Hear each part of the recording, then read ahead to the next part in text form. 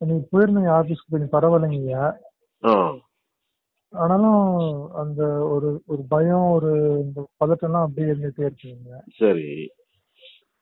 சரி அதான் ஐயா பேச சொன்னீங்க அதனால உங்களுக்கு ஃபோன் எப்போ பேசுமே நேத்து சொல் சொல்லிருந்தீங்க டெய்லி ஒரு ஹாஃப் அன் பேசுங்க அப்படின்னு சொல்லிட்டு. உங்ககிட்ட தான் சொன்னோமா அது? ஆமாங்க ஐயா ஆமாங்க அது இந்த ஆபீஸ் நம்பருங்க ஐயா கொஞ்சம் கொஞ்சம் கோவப்படாம இது கொஞ்சம் சேர்த்து வச்சுங்க ஐயா. ஆ சரி சரி சரி சரி. அது நேற்று பர்சனல் நம்பர் கொடுத்துருந்தேன். இது நம்பர் இந்த நம்பர் தான் இருக்கும் சரி சரி சரி ஐயா நேற்று சொல்லியிருந்தீங்க சரி அதான் ஐயாட்ட ஒரு வார்த்தை கேட்கலாம்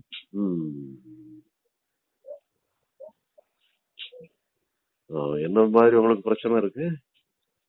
அதான் ஐயா ஒரே சூசைட் தாட்ஸ் வருது. அதுக்கப்புறம் வந்து ஒரு பயம் இருக்கு ஒரு பதட்டம் இருக்கு.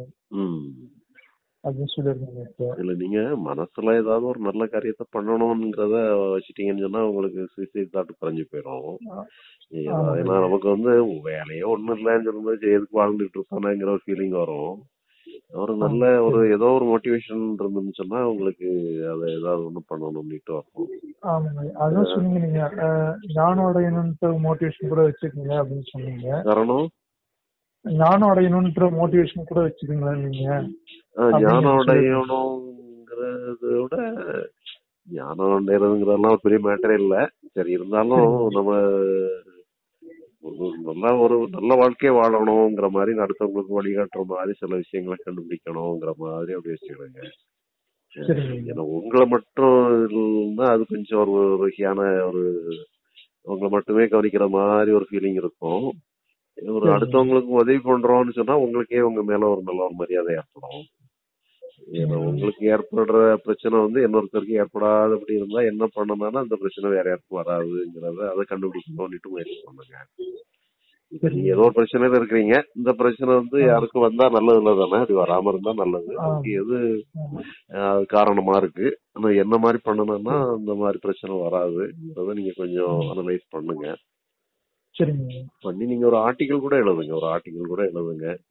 ஆர்டிகல் எழுதுறதுக்காக கொஞ்சம் மேட்டரை சேகரிங்க நல்லா இருந்ததுன்னு சொன்னா நம்ம பாதையில கூட போடுவோம். சரிங்க. கொஞ்சம் கரெக்ஷன் கூட பண்ணணும்னா கூட பண்ணி கூட போடலாம். அதனால ஒன்றும் பிரச்சனை இல்லை. சரிங்க.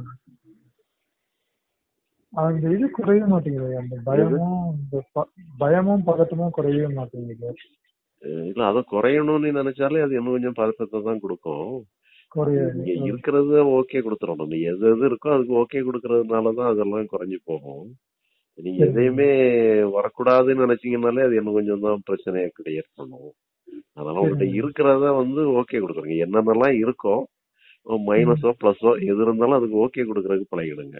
மனப்பூர்வமா ஓகே கொடுத்தீங்கன்னா எல்லாமே. நல்ல அம்சத்துக்காக தான் வந்திருக்குங்கிறத புரிஞ்சுக்கிடுங்க. உங்களை வழிநடத்துறதுக்கு எல்லாமே வந்திருக்குன்னுட்டு எடுத்துக்கிடுங்க. அதனால இறை சக்தியே வந்து உங்களை வழி நடத்துறதுக்கு தான் உங்களுக்கு இதெல்லாம் கொடுத்துருக்குன்னுட்டு எடுத்துக்கிடுங்க. எடுத்துக்கிட்டு நல்லதையே நினைச்சு நல்லதையே செயல்படுங்க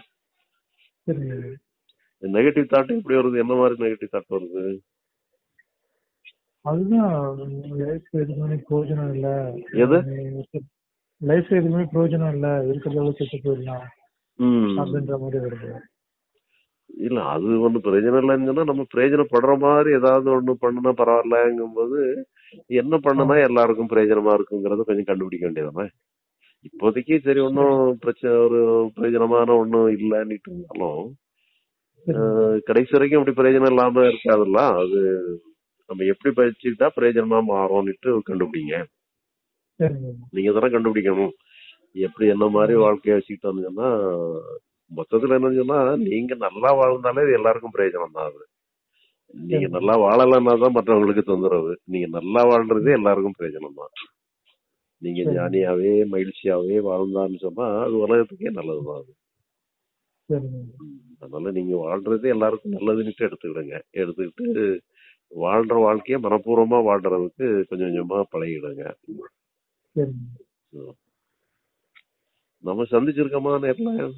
ஆமாங்க ஐயா நேத்து பார்த்தோமே ரவிச்சந்திரன் சார் வீட்டுல பார்த்தோம். ஓ ரவிச்சந்திரன். ரைட் ரைட் ரைட் ஆமா ஆமா. நேத்து ஈவினிங் ஒரு ஆறரை மணிக்கு. சரி சரி சரி சரிங்க உங்க. பேர் என்னது?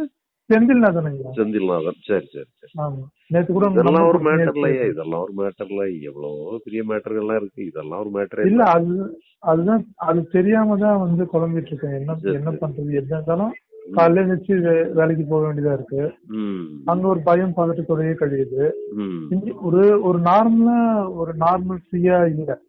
ஃபர்ஸ்ட் நம்ம நம்ம நார்மலா இருக்கிறதுக்கும் நார்மல் இல்லாம இருக்கிறதுக்கும் நமக்கு தெரியும் இல்லையா? இல்ல நீங்க first- நார்மல்னு சொல்லி ஒரு ஒரு இத ஒரு ஐடியலா பிக்ஸ் பண்ணாதுங்க. நீங்க எப்படி. இருக்கீங்களோ அதான் நார்மல்லிட்டு எடுத்துக்கிடுங்க. நீங்க உங்க வாழ்க்கையே வந்து யதார்த்த வாழ்க்கையே நார்மல்லிட்டு எடுத்துக்கிடுங்க. அஹ் ஓ. நீங்க எப்படி வாழ்றீங்களோ அதுதான் நார்மலான வாழ்க்கைன்னு எடுத்துக்கிடுங்க. அதை இம்ப்ரூவ் பண்ணிக்கிடுங்க அவ்வளவுதான். நார்மலான வாழ்க்கையை இம்ப்ரூவ் பண்ணிக்கிடுங்க. வேற என்னதான் நார்மலுக்கு போகணும்னு எல்லாம் நினைக்காதுங்க. நீங்க வாழ்ற வாழ்க்கை நார்மலான வாழ்க்கை தான். இதோட மோசமான பிரச்சனை உள்ளவங்க எல்லாம் எத்தனை பேரோ இருக்கிறாங்க. இதெல்லாம் ஒரு பெரிய மேட்டரே இல்ல. நம்ம மனசு தானே நமக்கு வந்து நம்மள வந்து எதையோ ஒண்ணு பண்ணி எதையோ ஒண்ணு பண்ணுது அது. நம்ம மனசு ஓகே ஆயிட்டுனா எல்லாமே ஓகே ஆயிரும். ஐயா மெடிடேஷன் பண்ணலாங்களா ஐயா? மெடிடேஷன் முதல்ல புரிஞ்சுக்கிட்டீங்கன்னா பரவாயில்ல. மெடிடேஷன் கூட வந்து இதை சரி பண்றதுக்காக மெடிடேஷன் பண்றேன்னு பண்ணக்கூடாது. மெடிடேஷன் வந்து சும்மா ஜெனரலா மெடிடேஷன் நல்லதுங்கிற ஒரு கோணத்துல நீங்க மெடிடேஷன் பண்ணலாம். இப்ப நாங்களே சில மெடிடேஷன் எல்லாம் அஹ், சொல்லணும் ம். சர்வரூப தியானம் நிருவர்ப்ப தியானம் விகற்ப தியானம் சொல்லி ஒரு மூணு வகையான தியானம் போட்டிருக்கோம். தியானம்ங்கிற ஒரு புக்ல அதெல்லாம் வரும். நீங்க அதை கூட விளையாட்டு போக்குல பண்ணுங்க. இந்த சீரியஸா பண்ணாதுங்க சீரியஸா சரி. பண்ணாதுங்க விளையாட்டு போக்குல இப்போ பண்ணுங்க. இப்ப இருக்கிற பயத்தோடயே வந்து நம்ம வாழ்க்கை அணுக முடியும் அணுக முடியும். ஆமா எல்லாமே? வந்து நீங்க எதிர்ப்பு பண்ணனாலதான் அது கொஞ்சம் உங்களை பலம் வருது. நீங்க. எல்லாத்துக்கும் நீங்க மனப்பூர்வமா அனு அனுமதி கொடுத்துட்டீங்கன்னா எல்லாமே ஃப்ளோவில் போயிடும் அது. எதுவுமே உங்களை. ஒன்றும் தொந்தரவு பண்ணாது. எதுவும் இல்லையா சரிங்க ரொம்ப நன்றிங்க நான் உங்க டைம் விடுங்கள வாரத்துக்கு தடவை பரவாயில்ல நீங்க பேசுங்க. நீங்க இடையில பேசுங்க? நான் ஊருக்கு. போன பிறகு கூட நீங்க பேசுங்க. தொடர்ந்து பேசுங்க. பேசுனீங்கனாலே சிலதுலாம் உங்களுக்கு ஒரு கிளாரிட்டி கிடைச்சிரும். ஏன்னா இது வந்து எனக்கு. தொந்தரவு பண்றதுங்கிறத விட உங்களுக்கு பெனிஃபிட் ஆகணும் பாத்தீங்களா? அதானே முக்கியம். ஆமா. இல்ல இப்போ நான் முதல்ல ஞானமுடைகள் அதாவது நான் என்ன நினைக்கிறேன்னா கிளாரிட்டின்னு ஒண்ணு இருந்துட்டு அதுக்கப்புறம் என்னோட செயல் வந்து சிறப்பா இருக்கும். குழம்பிக்கிட்டே இருக்கிறத விட எதுக்கு ஒரு குழப்பத்தோட ஒரு செயல் செய்யும் போதும். இல்ல ஒரு தெளிவோட ஒரு செயலை செய்யும் போதும் வித்தியாசம் இருக்குங்களா சோ எனக்கு கொஞ்சம் கிளாரிட்டின்னு நான் கிளாரிட்டி ஆயிட்டேன்னா என்னோட செயல் வந்து நல்லா இருக்கும்னு நான் நினைக்கிறேன். ஆமா அதான் அதான். அந்த இதை வச்சுக்கிடுங்க. நீங்க கிளாரிட்டின்னா வேற ஒண்ணும் விசேஷமா எதிர்பார்க்காதுங்க. நீங்க இப்ப என்ன பண்ணணுமோ அதை பண்ணுங்க. அதான் கிளாரிட்டி வேற இல்ல. பண்ண முடியாததெல்லாம் பண்ண முடியலையேன்னு சொல்லி வருத்தப்பட்டு இருக்கிறதோட உங்களுக்கு என்ன ஸ்கோப் இருக்கோ அதை ஒழுங்கா பண்ணுங்க. ஸ்கோப் இல்லாததெல்லாம் நீங்க கற்பனை பண்ணிட்டு இதெல்லாம் பண்ண முடியல அதெல்லாம் பண்ண முடியலையேன்னு சொல்லி வருத்தப்பட்டு இருக்கிறத விட உங்க எல்லைக்குள்ள என்னெல்லாம் பண்ண முடியுமோ அதை எல்லை தாண்டி பண்ணணும்னு நினைச்சீங்கன்னு சொன்னா ஏமாற்றம் தான் வரும். இதெல்லாம் பண்ண முடியலையே இதெல்லாம் பண்ண முடியலையேங்கிற எண்ணம் வரும். எது பண்ண முடியுமோ அதை மட்டும் அதுலயே கவனம் வச்சுக்கிட்டா போதும். பண்ணக்கூடியதுல மட்டும் கவனம். அதுவே போதும். உங்களுக்கு பண்ணக்கூடியதே பெரிய கடல் மாதிரி இருக்கு. பண்ண முடியாததெல்லாம் நம்ம இழுத்து போடணும்னு அவசியம் இல்லை.